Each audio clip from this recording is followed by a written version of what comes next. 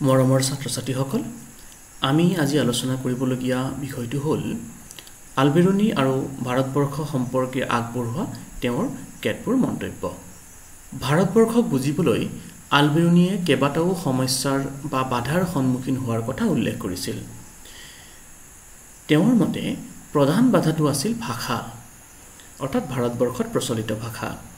তেওঁ কৈছিল যে সংস্কৃত ভাষা আৰবী আৰু পাৰ্চী ভাষাৰ পৰা বহুত পৃথক হোৱা বাবে সংস্কৃত ভাষাত লিখিত ভাৰতীয় গ্ৰন্থবোৰত সোমাই থকা মৰ্ম আৰু ধাৰণাবিলাক খুব সহজে আনটো ভাষালৈ তৰ্জমা কৰাটো বৰ কঠিন আছিল। ভাৰতবৰ্ষৰ বেছিভাগ গ্ৰন্থ সংস্কৃত ভাষাতেই লিখা হৈছিল আৰু সেই সংস্কৃত ভাষাটো আচলতে আলবেৰুণীয়ে উল্লেখ কৰা মতে বৰ কঠিন আছিল। যাৰ কাৰণে তাক আৰবী বা পাৰ্চী ভাষালৈ অনুবাদ কৰাটো কষ্টকৰ কাম আছিল। তেওঁৰ মতে দ্বিতীয়টো বাধা আছিল ভাৰতবৰ্ষৰ ধৰ্মীয় বিশ্বাস আৰু আচাৰ অনুষ্ঠানৰ মাজত থকা ব্যৱধান। তেওঁ কোৱা তৃতীয়টো বাধা আছিল স্থানীয় লোকসকলৰ মাজত থকা এক ধৰণৰ আত্মকেন্দ্ৰিক আৰু সংকীৰ্ণ মনোভাৱ। ভাৰতবৰ্ষৰ স্থানীয় লোকসকলে নিজকে হয়তো তেওঁ কোৱা মতে এক ধৰণৰ উচ্চ পৰ্যায়ৰ লোক বুলি ভাবিছিল। বা বিদেশী লোকৰ প্ৰতি তেওঁলোকৰ এক ধৰণৰ সংকীৰ্ণ মনোভাৱ আছিল।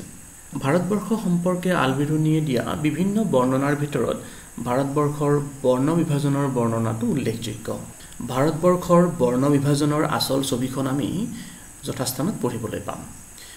আলবেৰুণীয়ে দেখুৱাব বিচাৰিছিল যে সামাজিক বিভাজন কেৱল ভাৰতীয় সমাজতে নাছিল ই পৃথিৱীৰ আন ঠাইতো বিদ্যমান আছিল। তেওঁ প্ৰাচীন পাৰস্যত চাৰি ধৰণৰ সামাজিক শ্ৰেণীৰ অৱস্থিতিৰ কথা উল্লেখ কৰিছিল।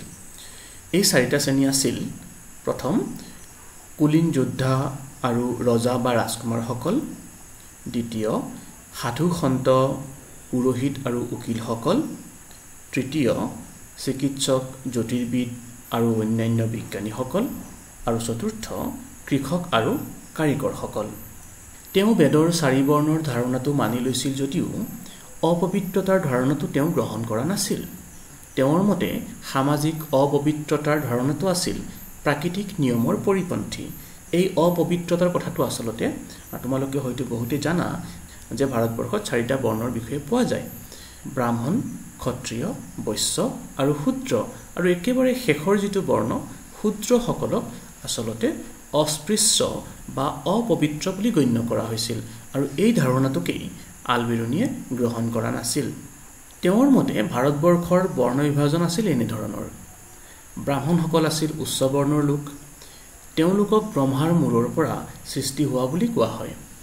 তাৰ পিছৰ জাতিটো আছিল ক্ষত্ৰিয় যিসকল ব্ৰহ্মাৰ কান্ধ আৰু হাতৰ পৰা তৈয়াৰ হৈছিল। ক্ষত্ৰিয়সকলৰ পিছত হ'ল বৈশ্যসকল যাক ব্ৰহ্মাৰ কৰঙনৰ পৰা তৈয়াৰ কৰা হৈছিল আৰু শেষত শূদ্ৰক ব্ৰহ্মাৰ ভৰিৰ পৰা তৈয়াৰ কৰা হৈছিল। তেওঁৰ এই বৰ্ণনাত আচলতে সংস্কৃত সাহিত্যৰ প্ৰভাৱ স্পষ্টকৈ দেখা যায় কিয়নো তেওঁ সেইবোৰত উল্লিখিত চাৰি বৰ্ণৰ উৎপত্তিৰ কথাখিনিকে উল্লেখ কৰিছিল। এইখিনি কথা আলোচনা কৰাৰ পাছত আমি কেইটামান প্ৰশ্নৰ সন্মুখীন হ'ব পাৰোঁ। প্ৰথমতে ভাৰতবৰ্ষৰ বিষয়ে জানিবলৈ আলবিৰুণীয়ে সন্মুখীন হোৱা বাধাকেইটা কি আছিল? দ্বিতীয় প্ৰশ্নটো হ'ব পাৰে আলবিৰুণীয়ে উল্লেখ কৰা প্ৰাচীন পাৰস্যত থকা চাৰি ধৰণৰ সামাজিক শ্ৰেণী কি কি আছিল? পৰৱৰ্তী ভিডিঅ'ত আমি আলোচনা কৰিম ইবন বটুতা আৰু ভাৰতবৰ্ষ সম্পৰ্কে তেওঁৰ কেতবোৰ ধাৰণা। ধন্যবাদ।